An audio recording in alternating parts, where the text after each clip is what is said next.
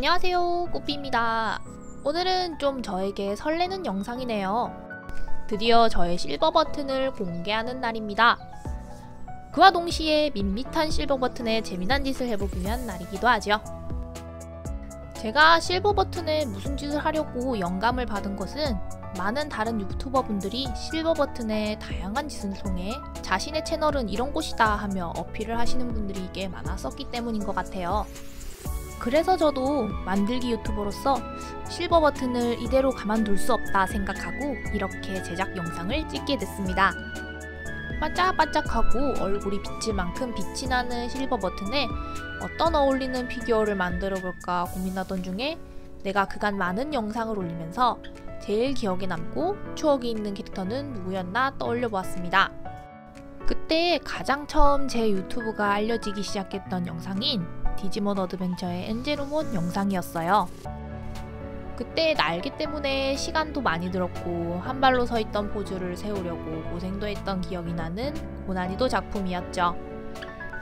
한 2년가량의 시간이 지나면서 제 유튜브 구독자 극중의 시발점이었던 엔제로몬을 또 한 번 더 리메이크해서 실버 버튼을 멋지게 꾸며볼까 합니다.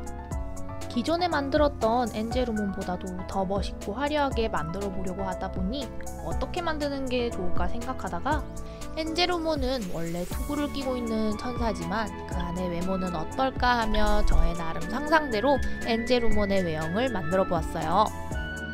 물론 엔젤우몬의 투구를 벗긴 건 엔젤우몬이 아니야 라고 생각하실 수도 있겠지만 제가 엔젤우몬의 투구를 벗은 모습을 만든 것은 남들이 하지 않고 틀에 박히지 않은 더 다양하고 상상력 있는 작품을 표현해 보겠다는 제 창작의 철학 같은 거라고 생각해 주시면 좋겠습니다.